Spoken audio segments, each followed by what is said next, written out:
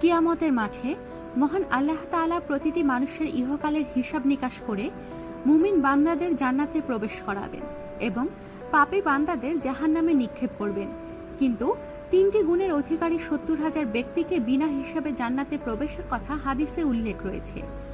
হজরত ইবনে আব্বাস রাদিয়াল্লাহ হতে বর্ণিত, প্রিয় নবী হজরত মুহাম্মদ সাল্লাহ আলাইসাল্লাম ইরশাদ করেছেন আমার উম্মতের মধ্যে সত্তর হাজার লোক হিসাব নিকাশ ব্যতি রেখেই বেহেস্তে প্রবেশ করবে।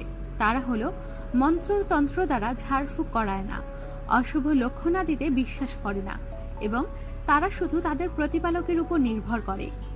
এই হাদিস দ্বারা প্রমাণিত হয়, যারা সুখ দুঃখে সর্বাবস্থায় একমাত্র আল্লাহর উপর আস্থা রাখে, অবিচল বিশ্বাস স্থাপন করে, তারাই আল্লাহর প্রিয় বান্দা। এর দ্বারা আরও প্রমাণিত হয় আমাদের সমাজে প্রচলিত জাদুবিদ্যা, মন্ত্রতন্ত্র, ঝাড়ফুঁক, কবিরাজি ইসলাম সমর্থন করে না। কারণ, এতে না যায় অনেক কাজও হয়। আল্লাহর উপর কোনো আস্থা থাকে না। থাকে কবিরাজের কারিশ্মা ও জাদুমন্ত্রের উপর।